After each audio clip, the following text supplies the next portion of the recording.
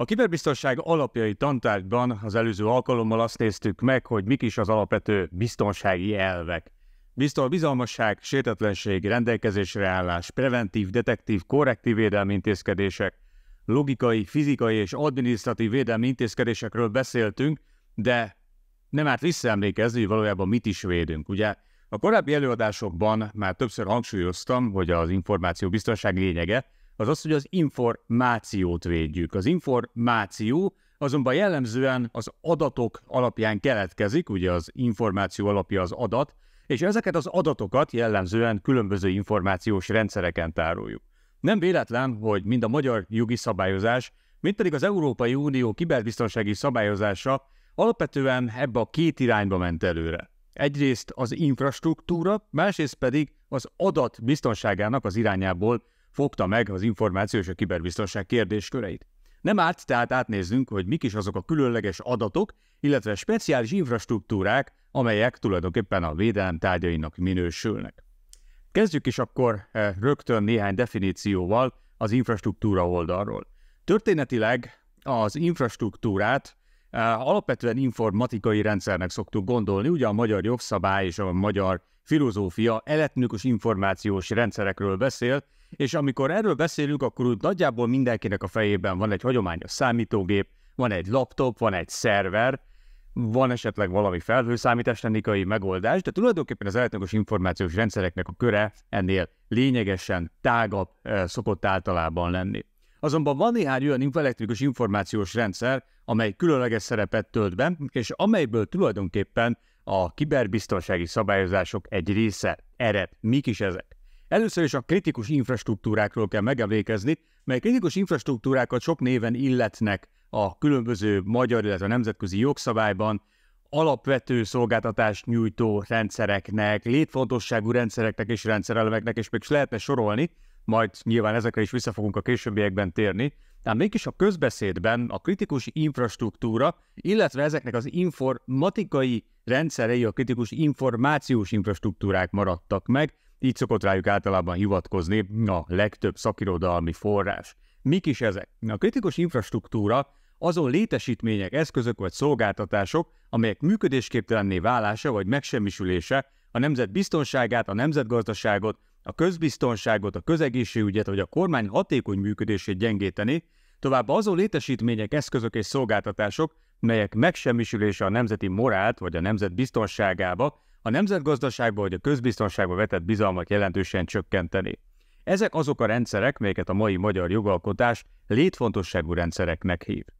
Nem különösebben nehéz belátni, hogy ilyen kritikus infrastruktúrából azért számos van, például a NIS 2 direktíva irányelv, melyeknek nagyon fontos szerepe lesz a következő években Európa kiberbiztonságának megvalósításában, nagyon részletesen felsorolja, hogy milyen szektorok tartoznak a kritikus infrastruktúrák közé körébe, és ezeken a kritikus infrastruktúra szektorokon belül egyébként mik azok a rész infrastruktúrák, rendszerek, amelyekkel különösen védeni kell. A kritikus infrastruktúrákat működtető elektronikus információs rendszereket nevezik kritikus információs infrastruktúráknak, definíció szerint. Azok az infokommunikációs létesítmények, eszközök vagy szolgáltatások, amelyek önmagukban is kritikus infrastruktúra elemek, továbbá a kritikus infrastruktúra elmeinek azon infokommunikációs létesítményei, eszközei vagy szolgáltatásai, amelyek működésképtelenné válása vagy megsemmisülése a kritikus infrastruktúrákat vagy azok részeit elérhetetlenné tenni, vagy működőképességüket jelentősen csökkenteni. Ezek a létfontosságú információs rendszerelemek a mai magyar jogalkotásban, és e, tulajdonképpen ezek adják a mai világnak egy különösen izgalmas szegmensét. Miért? Az Európai Uniónak és így Magyarországnak is a célja a reziliencia, az ellenálló képességnek a megteremtése. Ezen belül beszélünk kiberrezilienciáról, mely a különböző információs rendszerek kibertérből érkező fenyegetéseivel szembeni ellenálló képességét hivatott megjeleníteni. Azok az információs rendszerek, mely ezeknél a kritikus infrastruktúráknál működnek, nagyon sokszor egészen különlegesek tudnak lenni. Éppen ezért a szakirodalom ketté is szokta bontani azokat az információs rendszereket, melyeket ezeknél az infrastruktúráknál találunk. Beszél egyrészt IT rendszerekről, ezek a hagyományos irodai rendszerek Windowsokkal, Linuxokkal, számítógépekkel, amiket általában megszoktunk, azokkal a mindennapi életben bevett kommunikációs megoldásokkal, melyekkel folyamatosan találkozhatunk, viszont emellett fölállít egy úgynevezett OT, Operational Technology nevű szerepkört, illetve e, infrastruktúra halmazt is, melyeknek a feladata az, hogy a különlegesen e, időérzékeny, különlegesen e, működésérzékeny területeket tudják kiszolgálni az informatika adta előnyökkel. Az IT és az OT között az a nagyon nagy különbség egyébként, hogy míg az IT-ban nagyon gyakran tudunk gondolni a security-ra, azaz a biztonságra, az információ biztonságra,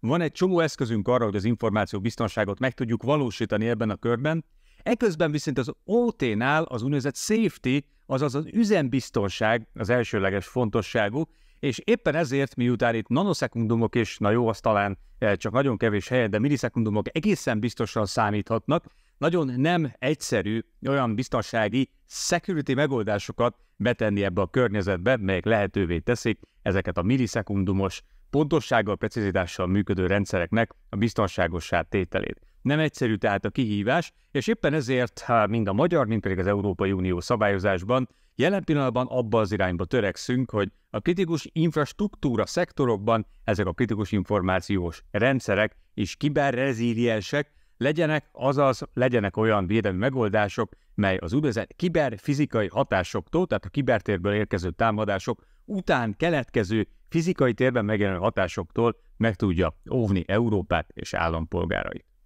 Ha már infrastruktúráknál tartunk, a következő nagyon érdekes és izgalmas rendszer terület, ezek az úgynevezett zárt célú rendszerek.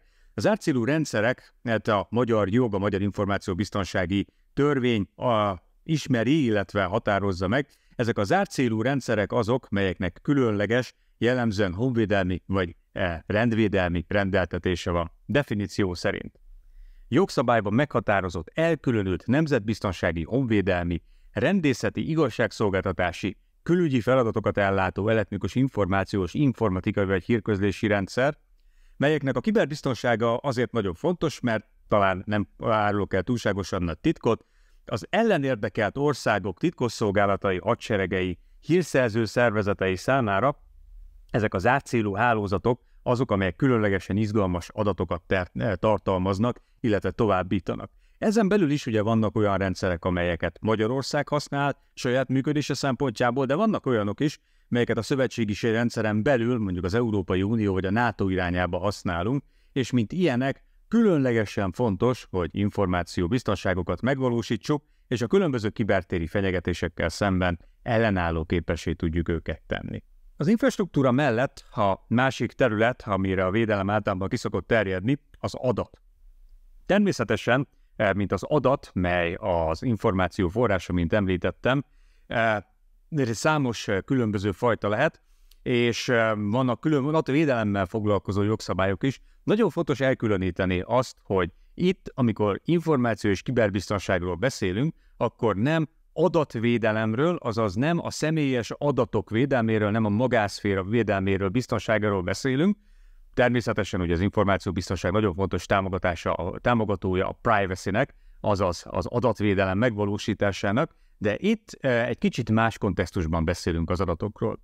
Amikor pedig adatokról beszélünk, akkor óvatatlanul össze is írunk ezzel a jogszabály halmazzal, így a Magyar Információbiztonsági Törvény is ír bizonyos olyan definíciókkal, amelyekkel egyébként az információ szabadságról és adatvédelemről szóló magyar jogszabály, 2012-es jogszabály is e, foglalkozik és melyet felhasznál. Néhány definíció.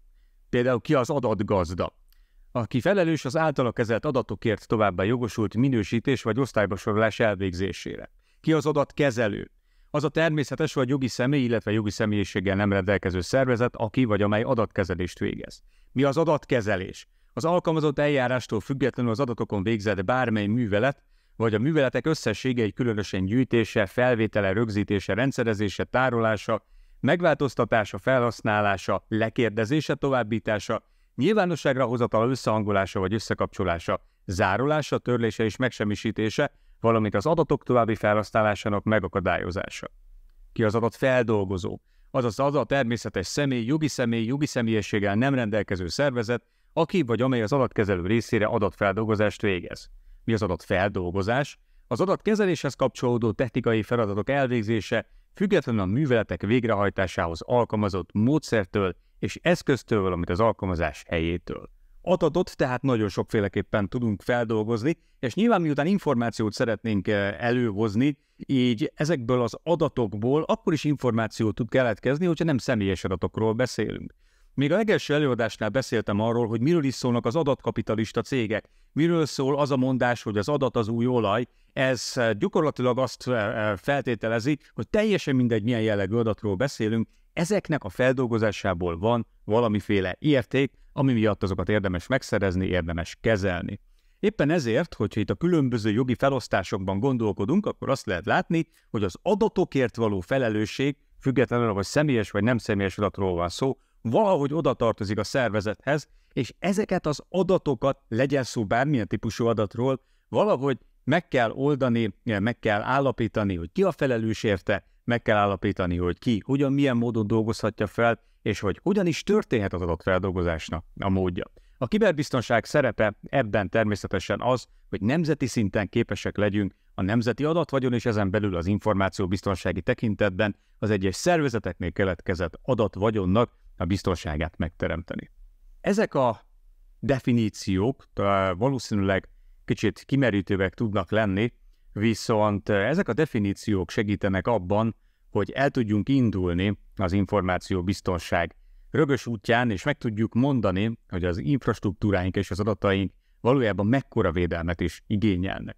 Amennyiben tetszett ez a rész, és hasznosnak találták ezt a részt, akkor teljesen természetesen fogok én még ebbe sokkal mélyebben is belemenni, éppen ezért iratkozzanak fel a csatornára, és hogyha tetszett, akkor lájkolják azt, illetve kommenteljenek is, minden visszajelzést nagyon nagy örömmel veszek, és köszönöm szépen mai figyelmüket.